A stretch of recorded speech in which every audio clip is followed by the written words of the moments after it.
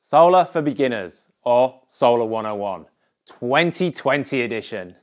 This video will tell you everything you need to know about solar before you go and get quotes.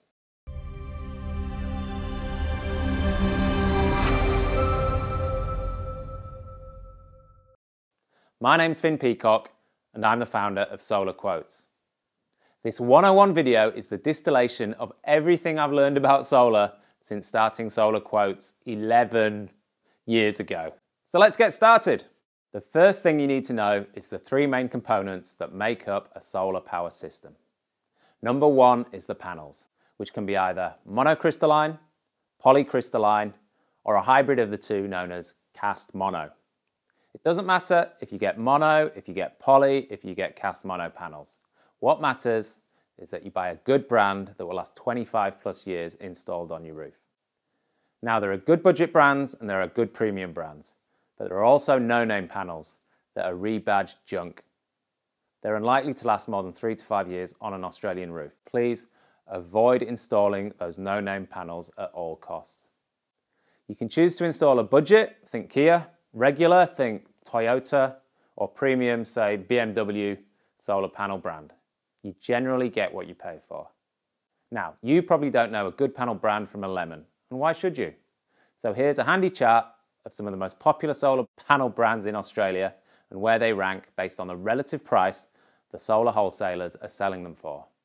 Now, this list is not exhaustive, and if you're not sure about a brand, shoot me an email. But this chart represents probably 90% of what's being quoted for in 2020 in Australia and the brands on this chart are more or less a safe bet. The second main component of a solar power system is the inverter, which can be either a string inverter, around the size of a small briefcase, or microinverters, which are approximately the size of a small paperback book. A string inverter is installed on the wall, and all the solar panels connect into it. A microinverter goes on the back of each solar panel.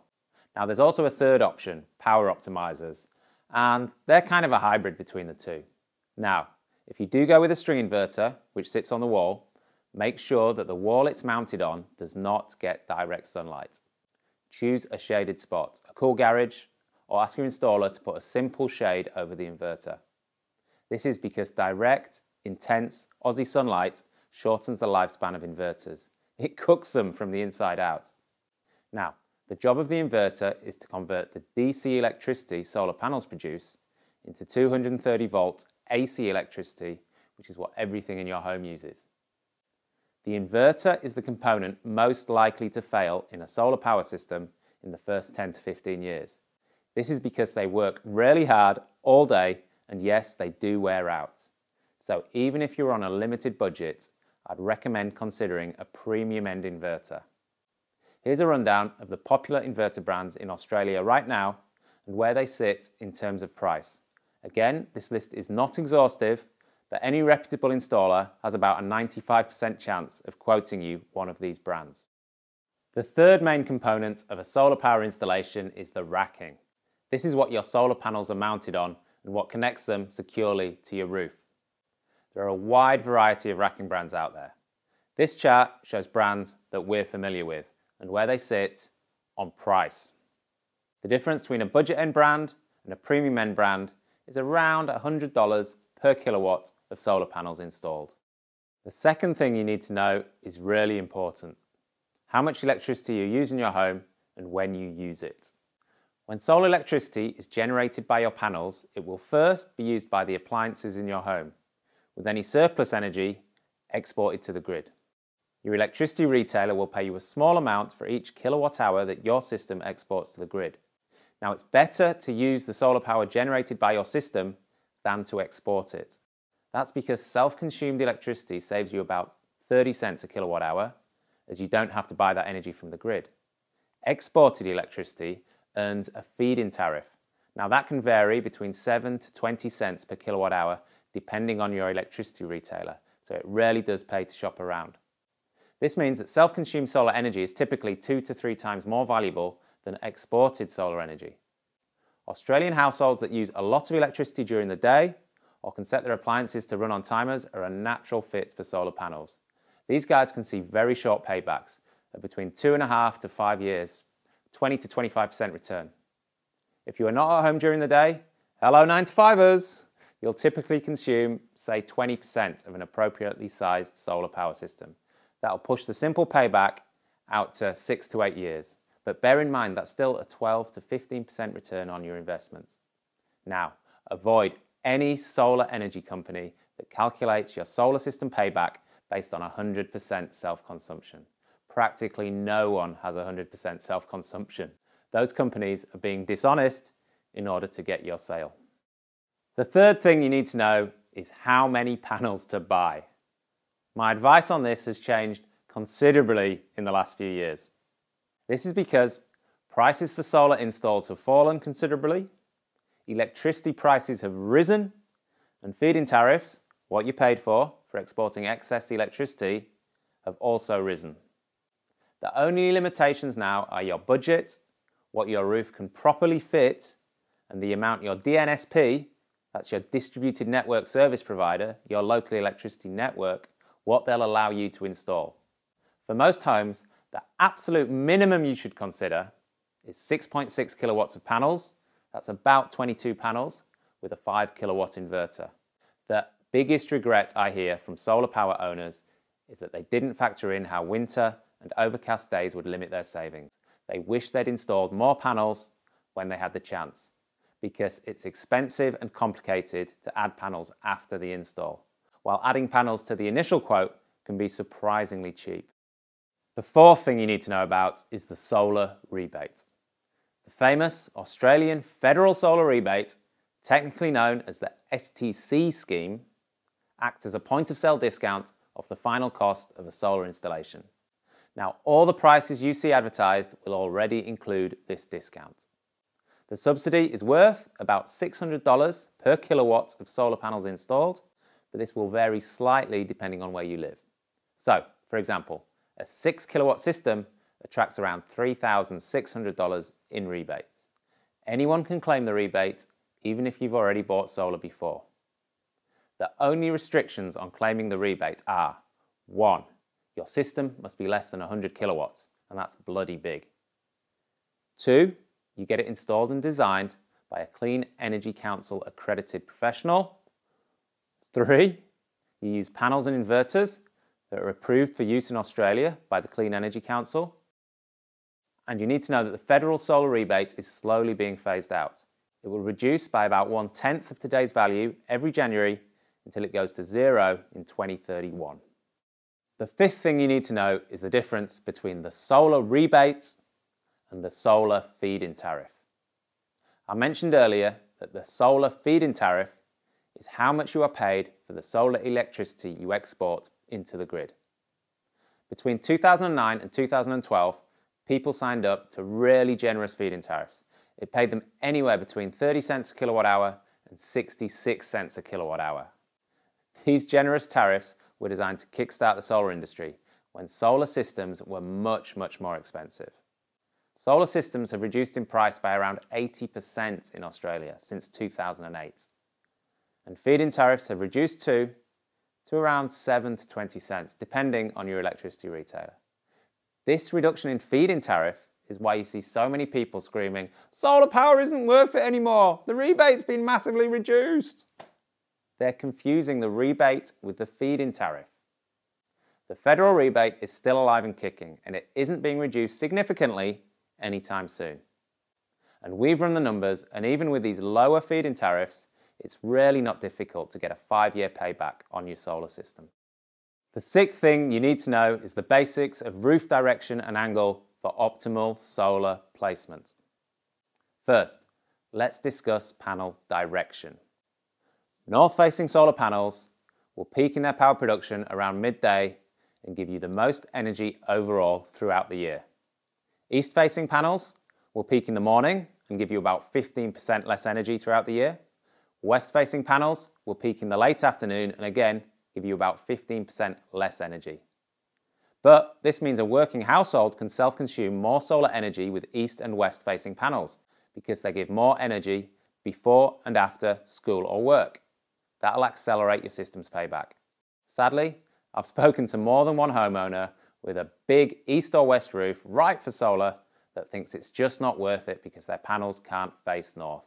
It used to be true ooh, 10, 12 years ago that if you couldn't install panels on a north facing roof, then solar wasn't worth it. But now the price of solar has dropped so much you can get a fantastic return on your investment from east facing panels, west facing panels, combination of northeast and west. Hell, you can even make money with south facing solar panels, although that would be a last resort.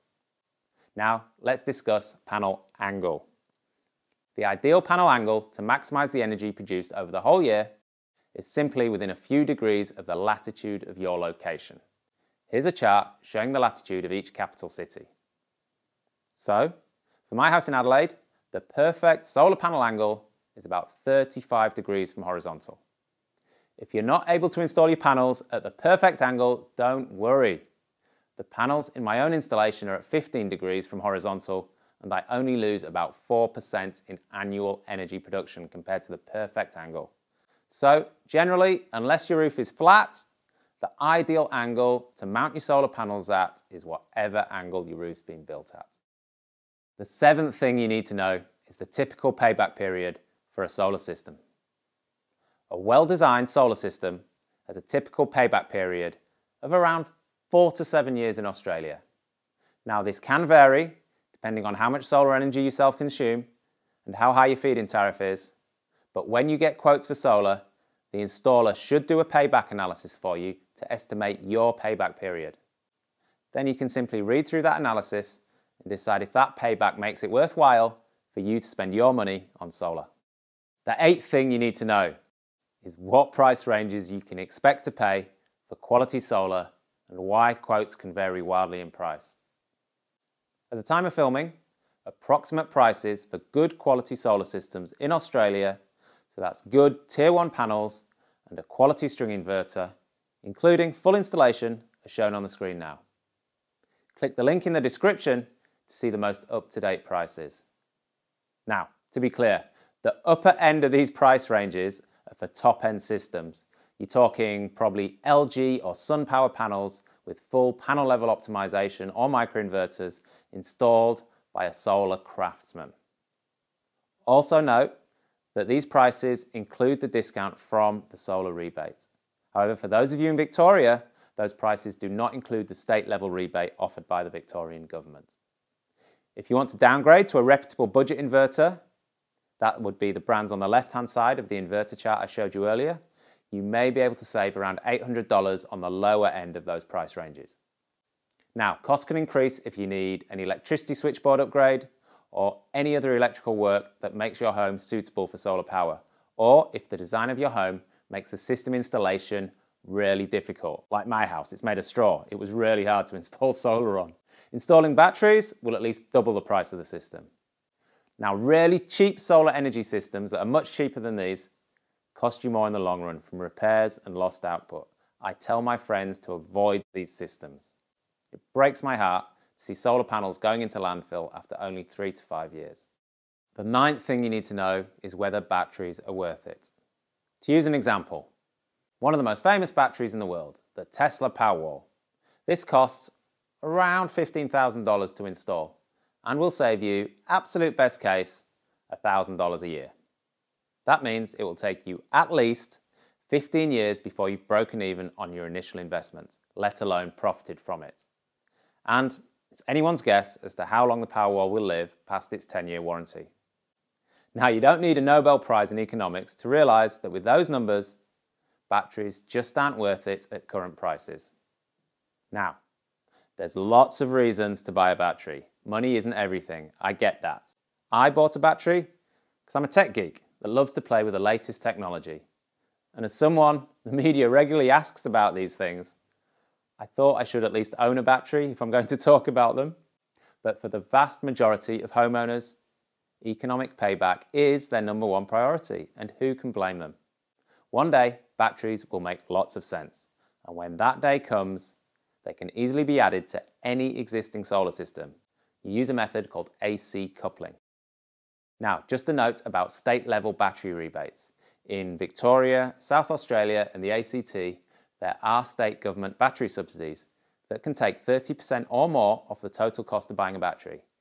If you get a really good deal on a battery, these additional rebates can take them from being too expensive to worth considering. The 10th and final thing you need to know is all about how to finance your solar system. Now, most Australians actually buy solar power systems with cash. If you're debt free and have cash looking for a place to go, then investing in a solar system is worth serious consideration. A solar installation currently generates a tax free, reliable return that at the time of filming is far higher than bank interest rates or government bonds. However, some of us don't have the luxury of easy access to thousands of dollars. Many solar installers offer no interest finance. And if that sounds too good to be true, it's because it almost certainly is. If you see a deal that claims no interest, your BS detector should be going off. All finance has a cost. The no interest deals often charge the installer a fee of 20 to 25% on top of the cash price. And guess what? That cost is passed on to you. Now, don't misunderstand me. Plenty of reputable solar installers, not just the rip-off merchants, offer no interest finance because many customers demand it these days. But in my experience, you can get a much better deal by shopping around for a low interest finance provider and avoiding the easy sign up, no interest deals. So there you have it the 2020 edition of my Solar 101 guide. You now have all the knowledge you need to buy a good quality solar system with confidence.